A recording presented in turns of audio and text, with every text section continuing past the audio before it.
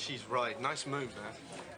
Do you always listen in on other people's conversations? Looks like things are going really well for you at the moment. Yeah, on all fronts. Cheers, Peggy. Oh, I wouldn't say that. What about your um, chip shop?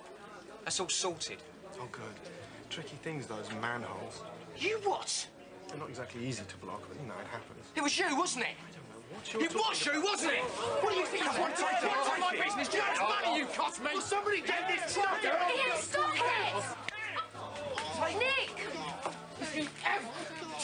Try and pull